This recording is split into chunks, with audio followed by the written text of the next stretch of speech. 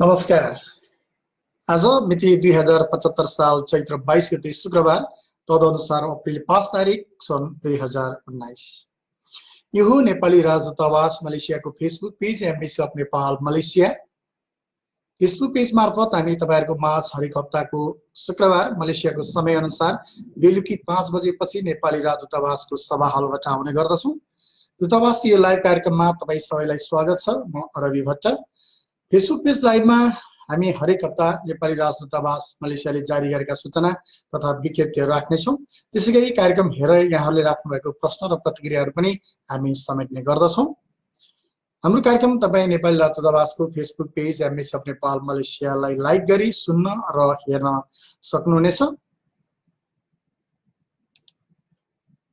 कार्यक्रमलाई सुरु गरौँ। आगामी हप्तादेखि नेपाली दूतावासले कन्सुलर सेवा शिविर श्रमिक सचेतना तथा अन्तर्क्रिया कार्यक्रम गर्ने सूचना फेसबुक पेजमा राखिसकेको छ र यहाँलाई म त्यो बारेमा पनि जानकारी गराउन गइरहेको छु। त्योभन्दा पहिला यहाँहरू जहाँ रहनु भएको छ जसरी बस्नु भएको छ र यहाँलाई परेको समस्या समाधानको लागि नेपाली राजदूतावासको सम्पर्क नम्बरहरू म दिन गइरहेको छु। नेपाली राजदूतावास रहेको स्थान रहेको छ उसमा Paradise number sixty three Jalan Ampang उसमा Paradise embassy of Nepal Kuala Lumpur भनेर यहाँले चाहिँ आउनु परेको खण्डमा ग्राब अथवा ट्याक्सीलाई पहिला अन्त पनि केएलसिसी नजिकै लगेको धेरै साथीहरू गुनासो आएको कारणले गर्दाखेरि उइसमा प्याराडाइज हान्नु होला। उसमा प्याराडाइज नम्बर सिक्स तिरी जलो नाम्पाङ नबिर्सिनु होला र यहाँलाई परेको समस्या समाधानको लागि नेपाली दूतावासको सम्पर्क नम्बर शून्य तिन बिस बिस अठार अन्ठानब्बे शून्य तिन बिस बिस अठार उनान्सयमा सम्पर्क गर्न सक्नुहुनेछ र आफूलाई परेको समस्याको समाधानको लागि यहाँहरूले थिच्नु पर्नेछ जस्तो नेपालीको लागि एक भनिएको छ भने एक थिचेर। त्यसपछि कुन विभागमा यहाँले चाहिँ आवश्यक परेको त्यो विभागमा चाहिँ यहाँले त्यो नम्बर डायल गर्नु भने सम्बन्धित सर तथा म्याडमले चाहिँ यहाँहरूको समस्याको समाधान गर्नुहुनेछ। र विशेष गरी नेपाली दूतावासले निकै लामो समयदेखि मलेसियाको विभिन्न राज्यहरूमा चाहिँ अन्तर्क्रिया श्रमिक सचेतना कार्यक्रमहरू गर्दै आइरहेको छ र यसबारेमा म जानकारी गर्न गरा गइरहेको छु। नेपाली दूतावास मलेसियाले भन्दा बाहिर विभिन्न राज्यमा रहेका नेपालीहरूलाई दूतावासबाट प्रवाह गर्ने सेवाहरू उपलब्ध गराउने रोजगारी सुरक्षाका र कानुन परामर्शका विभिन्न पक्षहरू पक्षहरूमा जानकारी गराउने तथा श्रमिकहरूका गुनासा एवं समस्याहरूको सुनवाई गर्ने उद्देश्यले यहाँ तल म अहिले उल्लेख गर्नेछु यहाँहरूलाई। स्थान र मिति तोकिएको छ। स्थान तोकिएको छैन। स्थान र चाहिँ समय चाहिँ पछि यहाँलाई चाहिँ हामी जानकारी गराउनेछौँ। शिविर श्रमिक सचेतना तथा अन्तर्क्रिया कार्यक्रमहरू सञ्चालन गर्न गइरहेको छौँ। फेरि पनि त्यसकारण कार्यक्रममा सहभागी भई लाभान्वित हुनु न सम्पूर्ण मलेसियामा रहनुभएका दिदीबहिनी तथा दाजुभाइहरूमा हार्दिक अनुरोध गरिन्छ। र विशेष गरी यो आउँदो तेह्र तारिक शनिबारबाट चाहिँ सुरु भएको छ। तेह्र तारिक शनिबार यहाँ क्ल्याङ क्लाङमा चाहिँ रहनुहुने नेपाली दाजुभाइ तथा दिदीबहिनीहरूले। सुविधा लिन सक्नुहुनेछ। यहाँहरू शनिबारको दिन उपस्थित भएर हामी स्थान तोक्नेछौँ। स्थान तोकेपछि यहाँले चाहिँ त्यो स्थानमा चाहिँ आएर पूर्ण रूपले चाहिँ यहाँले चाहिँ सहयोग लिन सक्नुहुनेछ। त्यसै क्लान्ताङ तेरेङ्गानुमा रहेको छ। वैशाख सात गते अथवा एक्काइस अप्रिलमा शनि आइतबारको दिन परेको छ। फेरि यसलाई सुन्नुहोस्। क्लान्ताङ तेराङ्गानुमा वैशाख सात गते दुई हजार पचहत्तर। सरी छयत्तर र सन्डे एक्काइस अप्रिल दुई हजार उन्नाइसमा परेको छ भने हामी आउनेछौँ पहाङ क्यामरुन हाइल्यान्डमा अठाइस अप्रिल दुई हजार उन्नाइस आइतबारको दिन रहेको छ। बातु पहाड जोहोरमा पाँच मे दुई हजार उन्नाइस आइतबार परेको छ।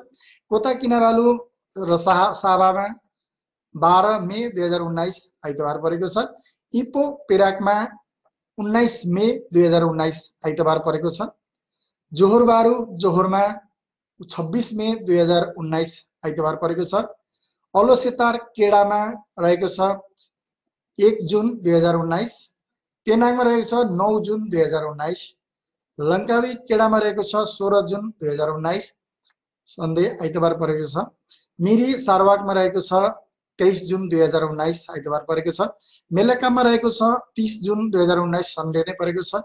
कुवान्ताङ पाहाङमा रहेको छ छ जुलाई दुई हजार उन्नाइसमा शनिबार परेको छ र यी स्थानहरूमा चाहिँ हामी कार्यक्रममा उपलब्ध गराउने सेवाहरूको बारेमा पनि म यहाँलाई जानकारी गराउन गइरहेको छु।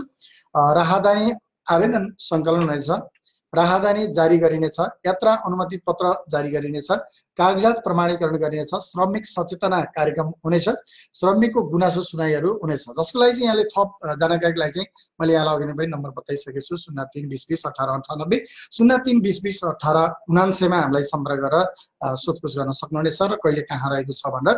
र यहाँले फेसबुक पेजमा गएर पनि सूचना हेर्न सक्नुहुनेछ कुन ठाउँमा। त्यो भयो क्षेत्रमा र त्यहाँको स्थान जुन स्थान र समय चाहिँ हामी पछि तोक्नेछौँ यहाँलाई जानकारी गराउँ। र एमबिसीको जुन हटलाइन पनि यहाँलाई थाहा छ शून्य सोह्र चौबिस बहत्तर सात सात सातमा पनि यहाँले सम्पर्क गरेर आपतकालीन अवस्थामा चाहिँ सम्पर्क गर्न सक्नुहुनेछ। भन्न चाहन्छु र साथीहरूले धेरै प्रश्नहरू राख्नुहुन्छ ट्राभल डकुमेन्ट त्यसपछि गएर अन्य कुराहरू बारे राख्नुहुन्छ प्रायः गरेर सबै नै त्यस्ता कुराहरू हप्ते विषय हामीले भन्ने गरेका छौँ र विशेष गरी आज मैले यो सूचनाको बारेमा जानकारी गराएँ यहाँलाई। र अहिले मलेसियामा धेरै अब लगभग दुई दिनमा एकजना जसो नेपालीहरूको ज्यान गइरहेको बारेमा पनि हामीलाई थाहा छ यहाँले बुझ्नुहुन्छ। र विशेष गरी हामी के भन्न चाहन्छौँ भने तपाईँहरू जहाँ रहनु भएको छ साथीसँग कुराकानी गरेर बस्नुहोला सँगै बस्नुहोला।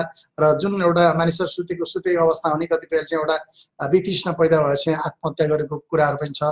त्यो कारणले गर्दाखेरि यहाँहरूले चाहिँ मलेसियामा यहाँको जुन हावापानी नेपालभन्दा फरक भएको कारणले गर्दाखेरि यो हावापानी अनुसार चाहिँ हामी चल्नुपर्छ जस्तो कि हामीले पानी कति पिउने कतिसम्म यहाँको मौसम अनुसार पानी पिउनु पर्यो त्यहाँ त्यस अनुसार यहाँ चाहिँ अब जस्तो अलि मदिरा जन्य से सेवन गर्ने चिजहरू चाहिँ अलिकति डुप्लिकेट जस्तो हुने र त्यो बढी सेवन गर्नाले पनि ज्यान गएको भनेर चाहिँ हस्पिटलले पनि कतिपय ठाउँमा चाहिँ देखाएको छ।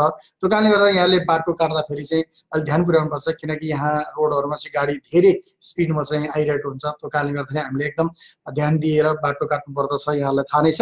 त्यसै गरी पानी चाहिँ प्रशस्त मात्रामा पिउनु पर्ने देखिन्छ किनभने यहाँको मौसम अलिकति गर्मी मौसम भएको कारणले गर्दाखेरि पनि हामीले पानीलाई चाहिँ विशेष ध्यान दिएर पानी पिउने गर्नुपर्छ र अखाद्य चिजहरूलाई चाहिँ हामीले एकदम ध्यान दिएर नखाने गरियो भने त्यस्तो अवस्थामा हामीलाई चाहिँ धेरै कुराहरूबाट हामी सतर्क हुन सक्छौँ र हाम्रो अकालमा ज्यान जाँदैन। तसर्थ यहाँलाई म अनुरोध गर्न चाहन्छु।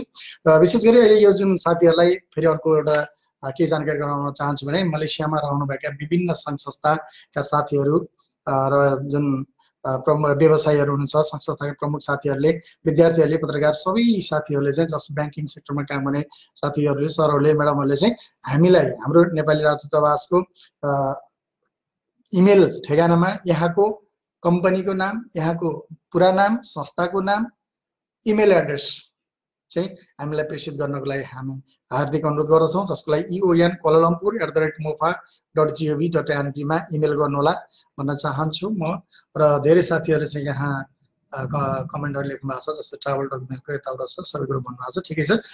यहाँहरूलाई चाहिँ हामी जानकारी दिँदै गराउँला कहिले खुल्छ भनेर सोध्नु भएको छ।